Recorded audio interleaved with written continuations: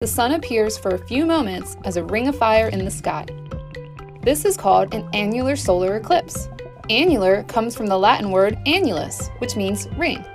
An annular solar eclipse occurs when a new moon passes directly in front of the sun but appears too small to cover it completely.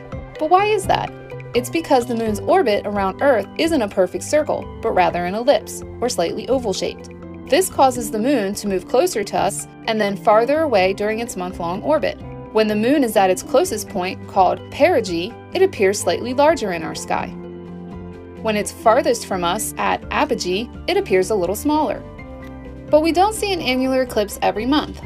That's because the moon's orbit is also slightly tilted in relation to Earth's orbit around the sun. This means during most months, the moon is either too high or too low to block the sun.